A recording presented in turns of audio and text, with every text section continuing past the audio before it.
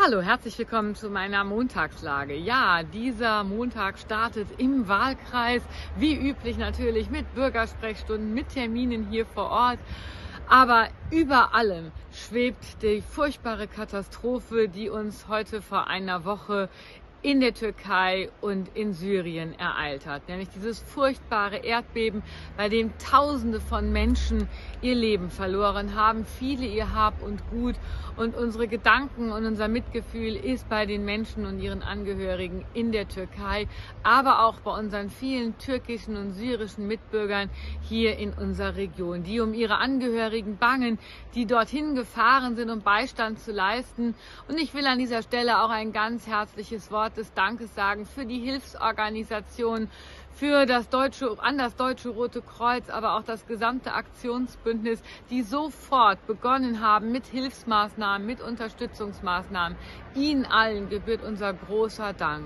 Wir hatten am vergangenen Samstag im Bürgerbüro in Betzdorf auch eine Benefizaktion in Fürthen gab es ein Benefits-Fußballspiel, alles für die türkischen Erdbebenopfer und die syrischen Erdbebenopfer. Und ich kann nur aufrufen, beteiligt euch aus Solidarität an diesen Benefizaktionen, an den Spendenaktionen, beispielsweise über das Aktionsbündnis für die Erdbebenopfer.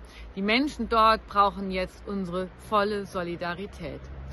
In dieser Woche geht es aber trotzdem natürlich dann auch weiter mit den alltäglichen Terminen, sei es in Mainz, ähm, aber auch dort werden wir an die Opfer gedenken. Wir werden uns am Dienstag, ich persönlich mit einigen Kolleginnen und Kollegen in das Kondolenzbuch beim Generalkonsulat der Türkei eintragen und auch dort nochmal unser Mitgefühl und unsere Solidarität bekunden.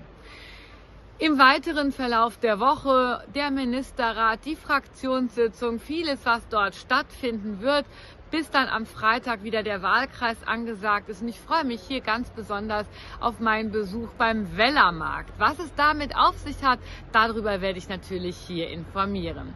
Ja, und Freitagabend bin ich dann eingeladen bei Mainz bleibt Mainz oder Mainz bleibt Mainz oder Mainz wie singt und lacht, ganz wie ihr wollt. Aber da schlägt dann die Fastnacht und der Karneval zu. Und wenn wir dann einmal schon eingeschunkelt sind, dann geht es direkt weiter am Samstag bei der Prunksitzung des Karnevalsvereins in Herdorf. Und mit einem kräftigen Nadajö wünsche ich euch in diesem Sinne ein närrisches Wochenende und freue mich dann hier euch am Rosenmontag wiederzusehen. In diesem Sinne, passt gut auf euch auf und bleibt gesund.